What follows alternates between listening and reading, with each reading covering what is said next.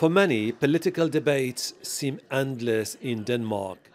Leaders of the 12 parties that will be represented in the parliament discuss their next step. But it's the leader of the Social Democrats, Mette Frederiksen, who will have the upper hand.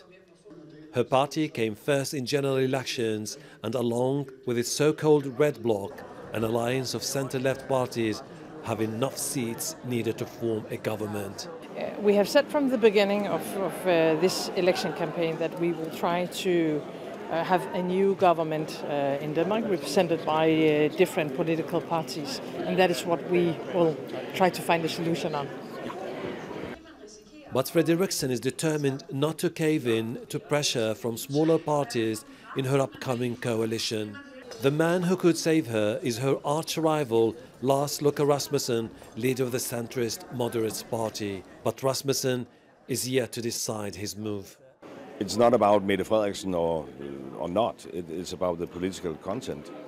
Um, and if she is the prime minister, that will be basically okay for us if the political platform is sufficient.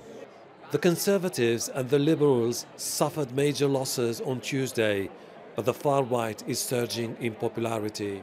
Pernille Vermund, leader of the New Right, says she is determined to defend the country's generous welfare program, but only if the government takes a tougher stance on immigrants. We have a system that is very uh generous to people who come here, and we have to change that system so that it's not uh, so that people don't come here because we have the system.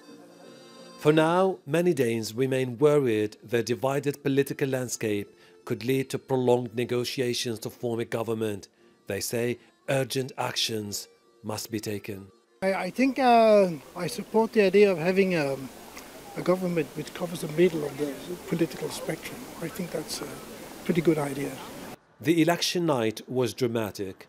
It kept the entire nation in suspense. Exit polls initially suggested the country would have its most fragmented parliament ever.